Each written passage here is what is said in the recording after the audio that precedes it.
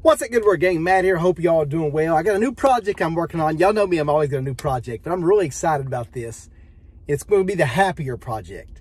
And my goal is to just give you resources to do talks, do different things just to make your life happier.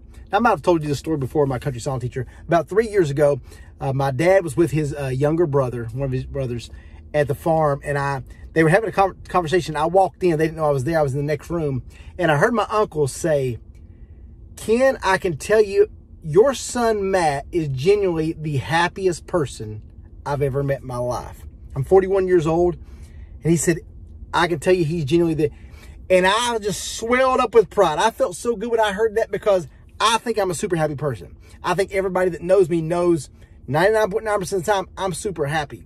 So the question, the reason I tell you that, what is it that makes me happy all the time? What is it that keeps a joy in my heart, that keeps me a zest for life, that kind of keeps me upbeat?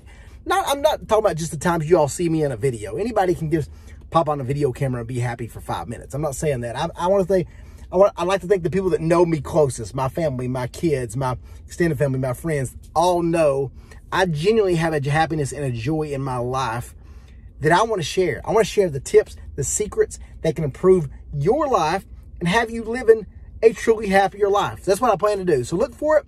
If you're new to this channel, I'm going to keep doing guitar lessons, that kind of thing. Obviously, I got two other guitar channels as well. But I'm excited about this. I'm excited to see what God's going to do through this process, how he's going to use my voice, use these videos to impact lives. So be sure to tune in, subscribe, smash that like button. We'll make it happen. You guys have a great day, great week. Holla.